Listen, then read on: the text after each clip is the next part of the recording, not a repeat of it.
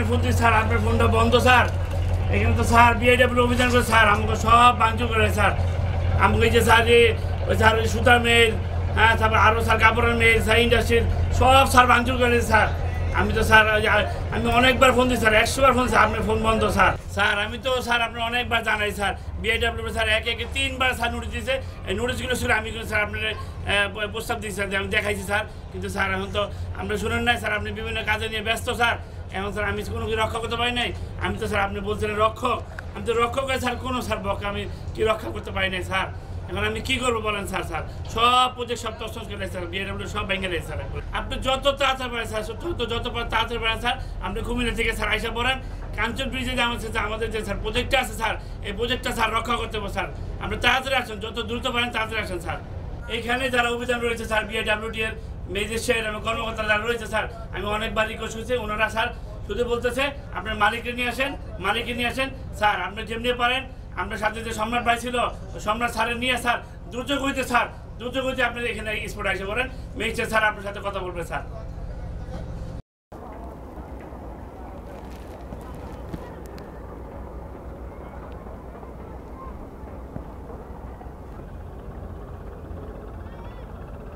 Sir একটা জিনিসও sir রক্ষা করতে পারি না, স্যার। সব বাইকে স্যার তসতস করেছে দেখেন, স্যার। একটা জিনিস, কোনো জিনিস, স্যার, আমি ম্যাজিস্ট্রেট স্যার অনেক বলছি, স্যার। আমাদের জিনিসটা রাখেন, স্যার। আমরা একটা কথা বলি, সব তসতস করে, স্যার। দেখেন, স্যার, এই যে স্যার, এই ফ্যাক্টরিটা ভাঙছে। স্যারও যাই দেখেন, আপনি ওই ফ্যাক্টরিটা ভাঙছে। পিআইডাব্লিউটি স্যার, অভিযান আসছে, স্যার। অভিযানে, স্যার, প্রত্যেকটা বাস, স্যার, আমাদের ইন্ডাস্ট্রির সবকে স্যার, ভাঙিয়ে ফেলছে, স্যার। একটাও ভাঙে রক্ষা করতে পারি না স্যার। বিআইডা ম্যাজিস্ট্রেট স্যার আসে মাহবুব জামিল, স্যার। স্যার আমার কথা শুনে নাই। আমি স্যার রক্ষা করতে পারি না স্যার কিচ্ছু রক্ষা করতে পারি না আপনি দেখেন আজকে ব্যবসায়ী কাজে আমি এত বিজি থাকি তারপর আমি যা শুন যখন শুনলাম আপনি একটু আগে আমাকে নক করতেন। একটু আগে নক করতেন আপনি আমার। সাড়ে তিনশো কোটি টাকার প্রজেক্ট আমার এখানে আজকে দেখেন কোথায়? সব বিলীন নিশ্চয়। আমি তো শেষ হয়ে গেছি। আপনারা কি জন্য রাখছে আপনাদেরকে এখানে আমি? কি জন্য এখানে বেতন দিয়ে আমি রেখেছি আপনাদেরকে? আমি সঠিক সময় কেন আমি তথ্য পাবো না? আপনি লিস্ট করছেন? আপনি ইস্যু করছেন? আমার তো প্রথম দিয়েছেন আমাকে। শেষ। একবার শেষ করে বলেছেন আমি লিস্ট করছি স্যার। হ্যাঁ? আমি স্যার প্রশাসন আপনি কেমনে কি? মেজিস্ট্রেট স্যারও বলছি স্যার। আপনি বোঝেন কত টাকা আমার ক্ষতিগ্রস্ত হয়েছে? আমার একটা প্রজেক্ট আছে এখনও কাঞ্চন। এটা কীভাবে আমি সেভ করব? এটা কি আপনি ভাবছেন কিছু? আমি স্যার চেষ্টা করি স্যার। আমি চেষ্টা করার পর স্যার বলছে সরকারি হুকুম মানতে হবে স্যার। আমি স্যারকে রক্ষা করতে পারি গট একদম শেষ একদম শেষ। আপনাদের মতো আসলে এই যে দায়িত্ব এত কোনো অবহেলা এত অবহেলা করলে কেমনে কি হবে? আপনি আমার শেষ করছেন একবারে। আমি আগে বলছিলাম যে ওনাকে নিয়েন না। এই ম্যানেজারের কারণে আজকে আপনি সব প্রতিষ্ঠান একদম আজকে আবার দেখেন এখানে কতগুলো মেশিন পড়ে আছে। এক একটা মেশিনের দাম কত? আপনার ধারণা আছে কোনো? স্যার একটা হচ্ছে এক- এই তিন কোটি টাকা দাম স্যার একটা আপনি যে দেখেন আমাদের এই যে নেক্সট যে গত যে প্রোগ্রামটা আমরা করলাম ওখানে সাড়ে তিনশো কোটি টাকা শুধু মেশিন প্রজেক্ট করেছে এই সাড়ে তিনশো কোটি টাকার যে মেশিন প্রজেক্টের এখানে তো কিছু নাই সব শেষ। এখন বিষয়টা হচ্ছে আমাদের ওখানে আরও দুশো কোটি টাকার একটা প্রজেক্ট আছে হ্যাঁ? এই যে প্রজেক্টগুলো আপনি কীভাবে কি এটা মেনটেন করেন? আমাকে বলেন এই বিষয়টা। স্যার এই যে ওই জায়গাগুলো স্যার ওই জায়গাগুলো স্যার আমাদের বিএডাব্লিউ জায়গা ভিতরে পড়ে নাই। স্যার এটা আমাদের মালিকানা জায়গা ভিতরে পড়ছে স্যার। ওগুলো আমি যে আমি দেখছি আমি যে দলিল দেখে স্যার ওরা বলছে স্যার এইখানে ভাঙ্গা হবে না স্যার। না আবার আবার এইভাবে একবার সব ধ্বংস করে তারপর আসবেন স্যার। আমি কিছু রক্ষা করতে পারি নাই। আমাকে কি একবারে পথের ভিখারি বানাতে চান? একবারে নিঃস্ব একটা লোকের যদি মনে করেন সাড়ে তিনশো কোটি টাকা জায়গায় যায় কি থাকে? আপনি বলেন। এখন আমার এই অবস্থায় আমি এখন কি করতে পারি? কি দেখতে পারি? আমি কি এখন এই মুহূর্তে কিছু করার নাই। কারণ হচ্ছে মানে ওই যে আপনার কাঞ্চন ব্রিজের ওই প্রজেক্টটা আপনার বাঁচাইতে হবে আর তিন প্রজেক্ট গেছে এটা কিছু করার নাই। কারণ হচ্ছে আপনার তিন নোটিশের পরে কিন্তু তারা উচ্ছেদ আসছে। এর আগে আপনারা কোনো কিছু করলেন না। এখন চলেন গিয়ে দেখি মেশিনে কি ক্ষয় আসেন আসেন আসেন এই আসেন।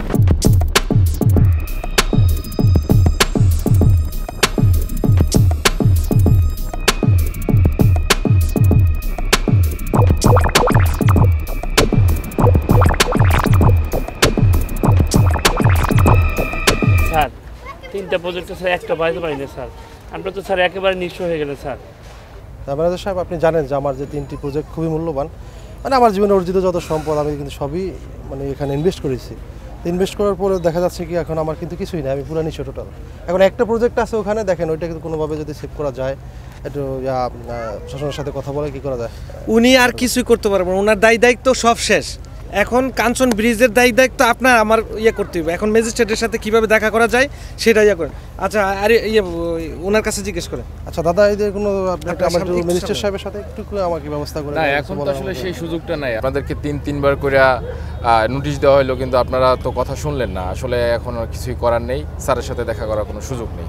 কিন্তু আপনারা তো আসলে কথা শোনেন নেই এখন কিছু করার নেই। যান ভাই আপনারা চলে যান প্লিজ চলে যান যান। প্লিজ সবাই চলে যান ভাই প্লিজ চলে যান চলে যান। এখানে কেউ ভিড় করেন না প্লিজ চলে যান যান যান যান যান যান। সবাই চলে যান সব চলে যান। এখানে ভিড় করেন না চলে যান।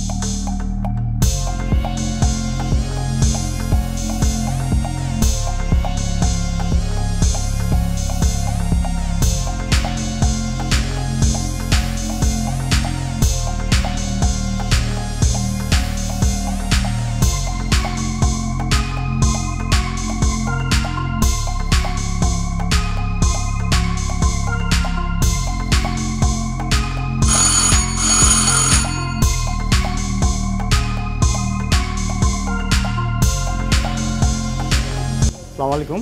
ওয়ালাইকুম আসসালাম। আপনি কি মিসেস রাসেল? জি আমি মিসেস রাসেল। আপনারা কারা? আমরা ব্যাংক থেকে এসেছি।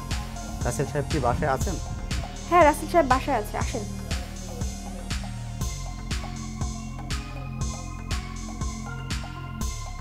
রাসেল সাহেব এ পর্যন্ত আপনাকে অনেকবার নোটিশ দেওয়া হয়েছে। আপনি আহ, কোনোটারই রেসপন্স করেননি। সেই ক্ষেত্রে আমরা ভাইজান অসহায়, সেটা আপনি জানেন। আগামীকালকের মধ্যে আপনাকে বাড়িটি ছেড়ে দিতে হচ্ছে। জি ম্যানেজার সাহেব, আসলে বিষয়টা আমি অনুভব করতে পারছি যে আসলে এটাই হওয়ার হওয়ার ছিল আর কি যেটা হবে। আসলে আমার তো টোটালি সব শেষ। আমার ইন্ডাস্ট্রি বলেন ব্যাংক ব্যালেন্স বলেন, আসলে তো টোটালটাই এখন মানে শূন্যর কথা, আমি এখন ঋণী। জি ম্যানেজার সাহেব তাহলে আমার যা যেটুকু আছে আমি, তাহলে কালকের ভিতরে আমি যা সব কিছু নিয়ে আমি বেরিয়ে যাব। সরি রাসেল ভাই, এ ব্যাপারে আপনাকে আমি কোনো হেল্প করতে পারছি না। এই কারণে আপনার বাড়ি সহ এই বাড়ির ভেতরের আসবাবপত্র যা আছে সব কিছুই আপনার ব্যাংক জব্দ করেছে। সেই ক্ষেত্রে আপনি এই বাড়ির ভিতরে যা আছে, তার থেকে কোনো কিছুই আপনি নিয়ে বের হতে পারবেন না।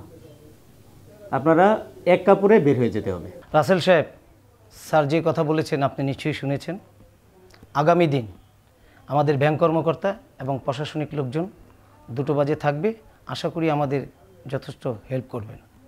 জি ম্যানেজার সাহেব আপনি যে কথাগুলি বলছেন আমি আসলে বুঝতে পারছি। আসলে আসলে আমি কি বলব? আমি মানে ভারসাম্য হারিয়ে ফেলছি। আমি চেষ্টা করব তারপরে যতটুকু পারি সর্বোচ্চ সহযোগিতা করার চেষ্টা করব আপনাদেরকে। তাহলে এই কথা থাকল। আমরা তাহলে এবার আসব।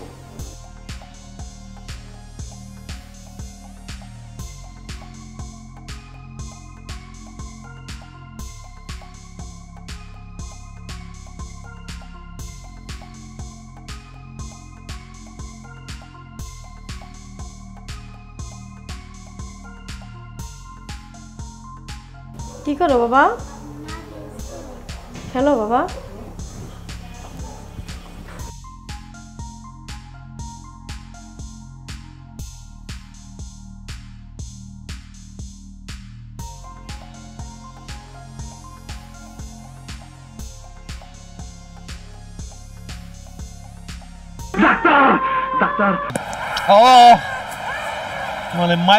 নারায়ণগঞ্জের শীতলক্ষা নদীর জায়গা দখল করে গড়ে ওঠা অবৈধ স্থাপনা উচ্ছেদ করছে নৌবন্দর কর্তৃপক্ষ হয় আসো বাবা, দেখে যাও। দেখো, তোমার ভবন বাবার নিউজ। দেওয়া হয়। এখন পর্যন্ত তিনটি ভবন ভেঙে দেওয়া হয়েছে এর আগে অবৈধ স্থাপনা দখলমুক্ত করার পর খোদ তারাবো পৌরসভা আবার নদীর জায়গায় স্থাপনা নির্মাণ করছে তবে নদীর জায়গা যেই দখল করুক না কেন কাউকেই ছাড় দেওয়া হবে না বলে জানিয়েছে নারায়ণগঞ্জ নৌবন্দর কর্তৃপক্ষ নারায়ণগঞ্জে বিআইডব্লিউটি এর অভিযানে রাখছেন সহকর্মী খেলা করো, মা, দেখি। যুক্ত হয়েছেন আমাদের সাথে হাবিব অভিযানের কি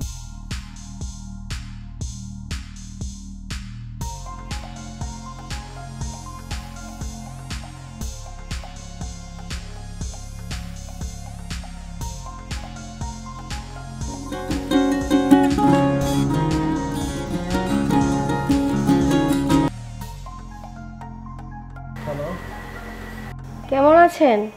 আমার প্রাণপ্রিয় স্বামী রাসেল সাহেব। বাহ কি দেখলাম টিভি নিউজে আপনাকে ভালোই তো লাগল। কেন? আপনি তো সুন্দরী বউ বিয়ে করেছেন গাড়ি বাড়ি সবই করেছেন। আজকে কি হলো আপনার? বেইমানদের বিচার আল্লাহ এইভাবেই করে বুঝছেন?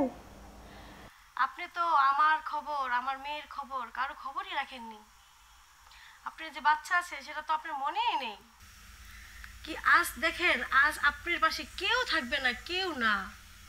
আর আমি এই দিনটি দেখার জন্যই বসে আছি। আমি তো আমার বাবার বাড়িতে ভালোই আছি। কোথায় থাকবে আপনার গাড়ি বাড়ি? কোথায় থাকবে আপনার বউ? সুন্দরী? কিছুই থাকবে না আপনার। বেইমানদের শাস্তি এভাবেই হওয়াই উচিত। আমি অনেক কেঁদেছি জীবনে আমি আর কাঁদবো না। আমার এখন হাসার পালা আমি শুধু হাসবো। হাসবো আর হাসবো। আমি দেখি তোমার জীবনে কি হয় আর আমার জীবন কি হয়। যা করেছ তুমি আমার সাথে আমার মেয়ের সাথে। বেইমানের সাথে কথা বলি বাবা। বেইমানের সাথে কথা বলি। আমি দোয়া করি আল্লাহর কাছে তোমার বিচার তিলে তিলে যেন এইভাবে আল্লাহ তাআলা করে। ঠিক আছে? অহংকারের লোভের হিংসার, পত্তন যাতে এইভাবেই হয়। এখন আমার আর কিছুই বলার নেই তোমাকে। গুড বাই রাখি মা? আমাদের বাবা লাগবে না, আমাদের বাবা নেই। ঠিক আছে? আমি বাবা, আমি মা, আমি তোমার সব। আজ থেকে বেইমান বাবা মানে বেইমান বেইমানদের বাবা রাখতে নেই।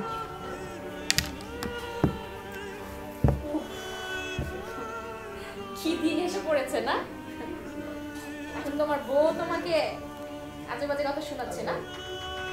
না, কথা তো ভালোই বলেছে, কথা তো খারাপ বলেনি। তুমি আমাকে বিয়ে করেছ, আমার মতো সুন্দরী মেয়ে বিয়ে করেছ, তোমার জীবন উজ্জ্বল হবে। আমিও তোমার কাছে বিয়ে বসেছি, তুমি অনেক টাকার মালিক, আমি তোমার কাছে তোমাকে বিয়ে করলে খুব আনন্দে আমার জীবনটা কাটাতে পারব। এখন তো তোমার কাছে কিছু নেই। এখন তুমি আমাকে ভালো রাখবে কি করে? তুমি নিজে কোথায় রাখবে সেটাই তো তুমি জানো। না আমাকে কোথায় রাখবে? আর আমি এমন ঘরের মেয়ে না যে আমি রাস্তাঘাটে থাকব। আমি সব সময় ভালো, আরাম, আয়েসে আমার জীবন কাটিয়েছি। আমি তোমার সাথে কষ্ট করতে পারব না। ঠিকই বলেছে। তোমার বউ বলল না, তোমার বউ চলে যাবে? ঠিকই বলেছে। আমিও চলে যাব। কারণ তোমার সাথে থেকে আমার কি লাভ? আমার জীবনে আমি কখনো কষ্ট করিনি। আর এখনও কষ্ট করতে পারব না। আমি চলে যাব। তুমি থাকো। তোমাকে আমি হাজারবার না করেছি যে তুমি এরকম একটা প্রজেক্টে টাকা ঢেলো না। তুমি আমার কথা শুনো না। আমি সব সময় বলি। আমি বলি না যে আমরা আমরা তো ঢাকায়া তাই না? ঢাকায়াতে একটা ভাষা আছে যে আমার কথা বাসি হইলে ফলে। তো আমার কথাটা এখন ফলছে। বলো, কথা বলো না কেন? এখন চুপ করে আছো কেন? এখন নাই, এখন ভাষা নাই বলার। আমি কিছু বললে শুনো না। সব সময় নিজের মর্জি মতো কাজ করো। এতগুলো টাকা ইনভেস্ট করছ, তাও ব্যাংক থেকে লোন নিয়ে। বুঝো এবার।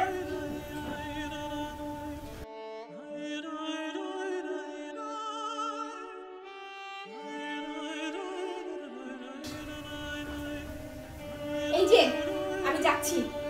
তোমার ব্যাংকের লোকেরা বলেছে না, বাড়ি থেকে যেন কিচ্ছু না নিয়ে যাই। আমার এত সুন্দর সাজানো বাড়ি। আমি নিজের হাতে এই বাড়িটা সাজিয়েছিলাম।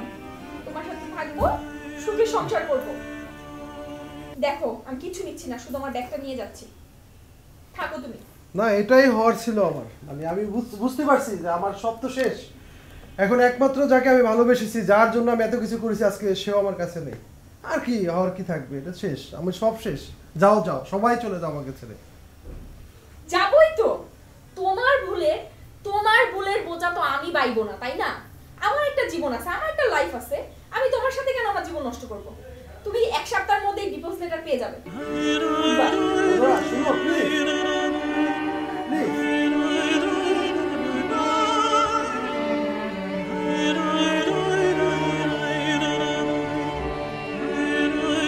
আমাদের এই শর্ট ফিল্মটি আপনাদের মাঝে একটি সোশ্যাল মেসেজ মাত্র।